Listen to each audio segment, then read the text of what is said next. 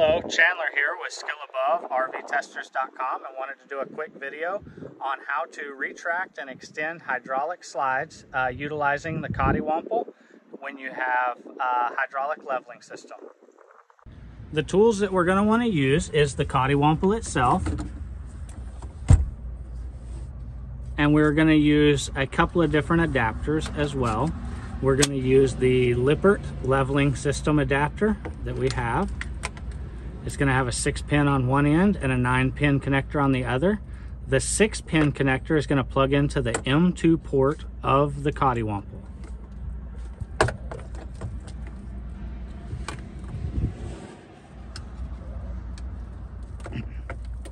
The nine pin connector is going to plug in at your leveling system controller. So you're going to unplug the nine pin connector there and you're going to plug it into the harness. Do not plug this into the controller. It will not fit.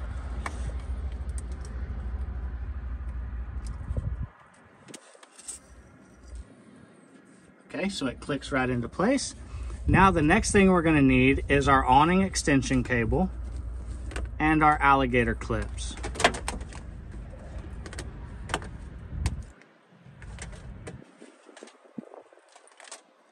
We're going to plug the awning, uh, the alligator clips into the awning extension cable using the SAE 2-pin connector. And we're going to plug the 6-pin connector into the M1 port.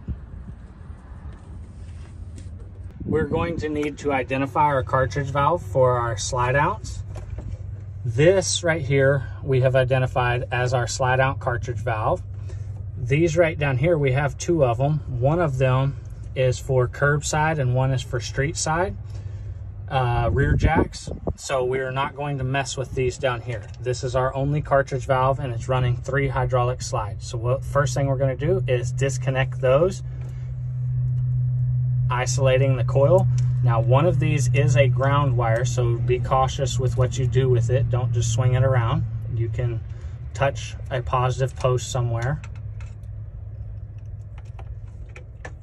and we are going to connect our alligator clips to these spade connectors.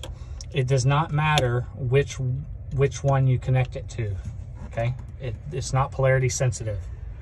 Okay, now that we are connected, if we hit both up arrows on M1 and M2, it is going to retract the slides.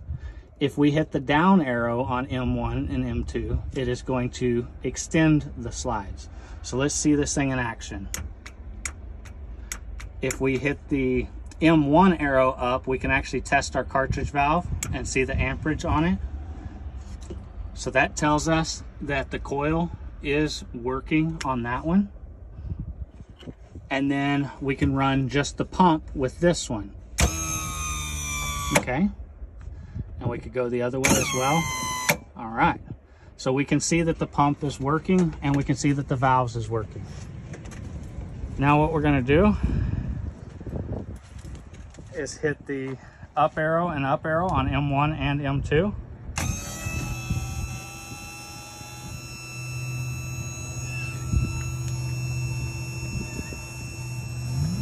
And it is going to bring the slide in. All right, hit the down arrow and the down arrow.